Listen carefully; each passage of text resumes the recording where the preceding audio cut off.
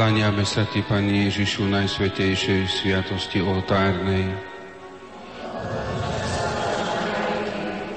Pane Ježišu, Tvoj pestún svätý Jozef vo svojom živote ukázal, ako je veľmi potrebné byť pozorný a počúvať vôľu Tvojho nebeského Otca. A preto budeme v tejto chvíli pred Tebou uvažovať o svedectve Jeho života Volajme pri úctievaní svätého Jozefa, oslavujme Krista, Božieho Syna.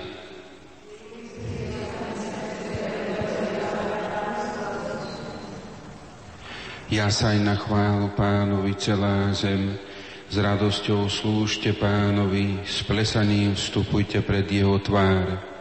Vedzte, že náš pán je Boh, on je náš stvoriteľ a jemu patríme, sme jeho ľud a ovce z jeho stáda.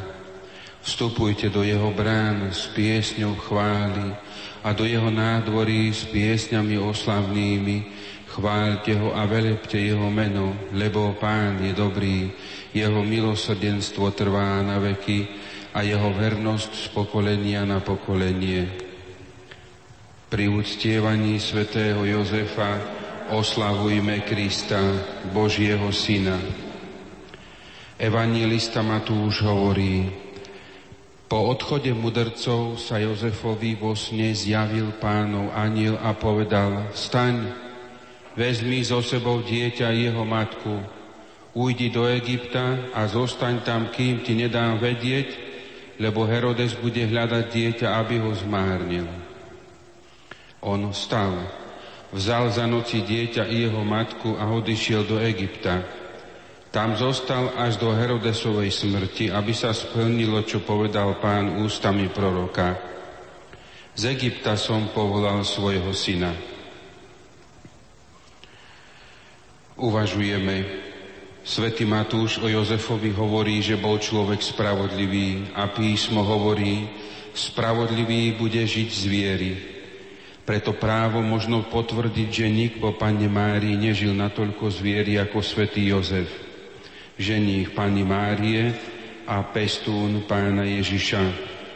Bol zasvetený do tajomstva vtelenia a musel prejsť počas svojho života všetkými temnotami, ktoré ho obklopovali a ktoré obklopovali splnenie tohto veľkého tajomstva. Jozef teda potreboval hlbokú vieru, ktorá sa stále živí utrpením a zoceluje úzkosťami, bezradnosť pred tajomným Máriiným materstvom, krajná bieda a chudoba v Betleheme, ťažkosti pri úteku do Egypta, návrat do Judei a cesta do Galilei.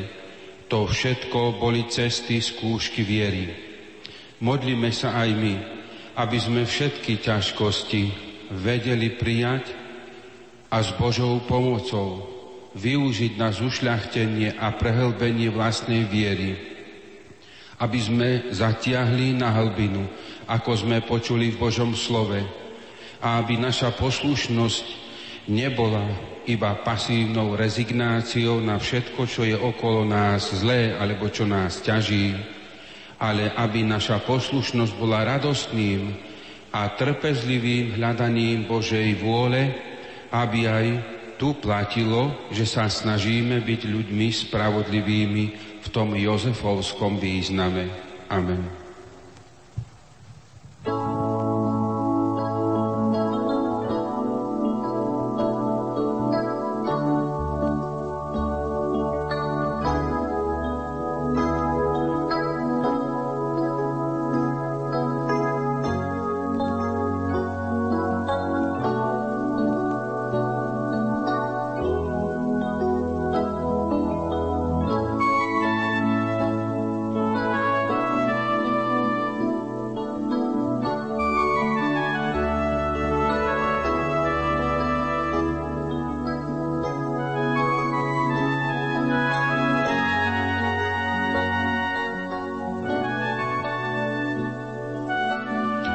Pokorne vzývajme Boha, od ktorého má meno každé otcovstvo na nebi i na zemi a volajme Otče náš, ktorý si na nebesiach, vyslíš nás.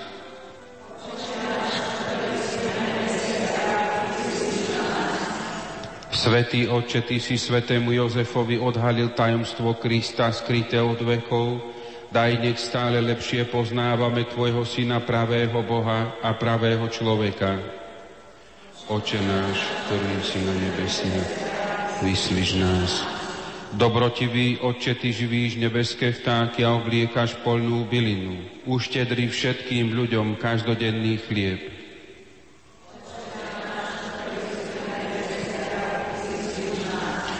Stvoriteľ celého sveta, Ty si s dôverou vložil svoje dielo do našich rúk. Daj nech pracujúci zaslúžene užívajú ovocie svojej práce.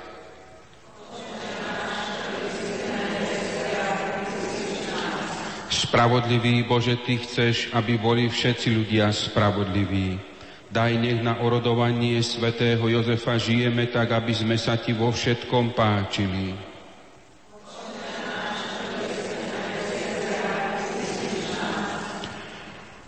Večný Bože, Ty si nám svojim slovom, svojim synom Ježišom Kristom zvestoval svoju lásku a túžbu po spoločenstve s nami vo väčšnosti. Daj, aby všetky katolícke médiá radostne spolupracovali na poznávaní Tvojej vôle.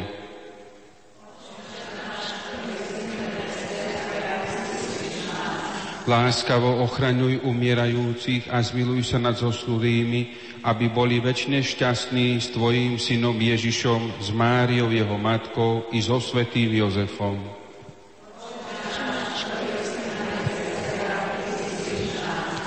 Sláva Otcu i Synu i Duchu Svetému,